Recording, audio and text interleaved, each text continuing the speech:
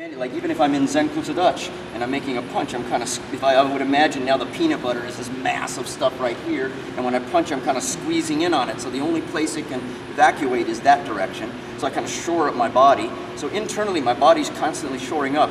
So this really intimate connection of all the little micro movements of my body when I'm punching, have that kind of like feeling.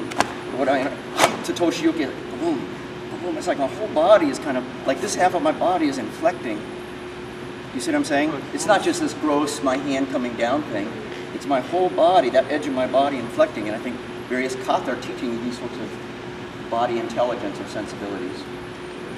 Everybody that's really relaxed, whether they're rolling on the ground or whatever, do so much better because they're not creating this, this situation of conflict. Yet they're controlling it because they still have a sense of connection.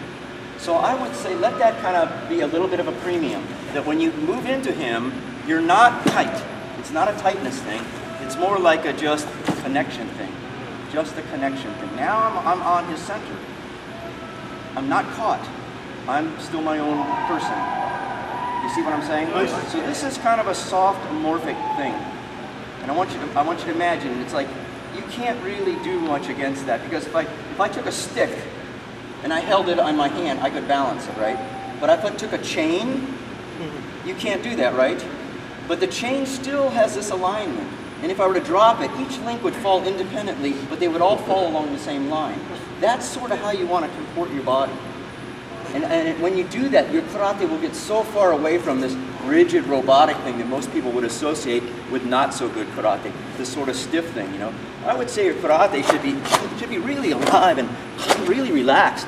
It's not this edgy thing. So much comes out of the energy of your legs. So this, this is going to have a little bit of that feeling. I'm going to just deviate, cut in like that, and be nice and tight. So I don't want to be out here. If I'm out here, then I have to rely on my leg or pulling my arm. But if it's my center, then it's just my center that makes this beat. You see that that's so much more different, and it's definitely so much more efficient. It wasn't really my leg, wasn't really my arm. It was just I'm kind of let, letting my center be in the right spot see what I'm saying? Almost like Kokutsu dachi. Similar look.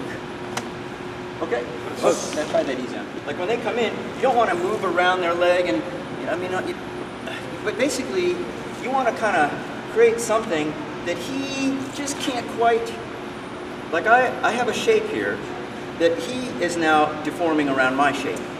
I'm not letting him anchor my stance and then as an after effect trying to, so I would say somebody may be stepping a little too far because you're trying to get around this leg, when in fact you want to be hugging this leg, you want to be, you want to be booting him out of that space. So you're in that space. And you would love to do that before he actually plants. You'd love to do that right there. So he never, when he was, when he thought he was going to be like that, that was not available anymore. And now he's like that. And that's a, that's a, don't deform your shape. So it's integrity of your position and a bit of a timing issue. So as soon as you sense his movement, you go in. You see what I'm saying? And then it's almost effortless. Okay, so don't be afraid to, I don't want to say not annoy your partner, but just be friendly, but take a space. When you work with your partner, you really don't try to grab them back if you can. In other words, if he grabs me, most, most, most people's reaction is when they, someone grabs you, you want to grab them. You know, and, and in fact, what you really don't want to do is you don't want to grab. You want, you want to just kind of maintain this sort of connection to your partner when you move.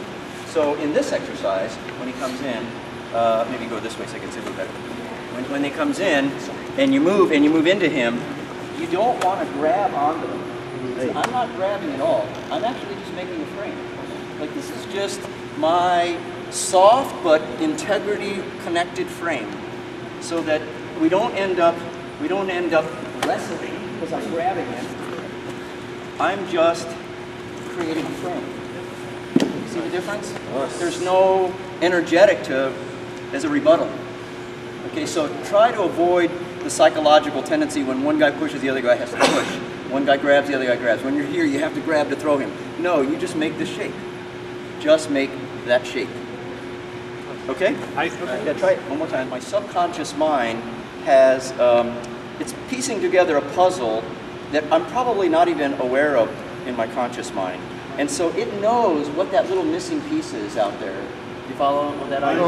And it will gravitate towards it. Like somebody will say something in class, whether it's, you know, like last night we were talking about the, the form isn't the shape, but it's sort of the resonating line inside the shape. And you might be right at that place where that, that's like the next piece that sits in your puzzle. Okay? So I think as we as we expand as humans, that's really what the experience is, is we're expanding as humans. You know? The freed bird always flies up. It doesn't go back in the cage.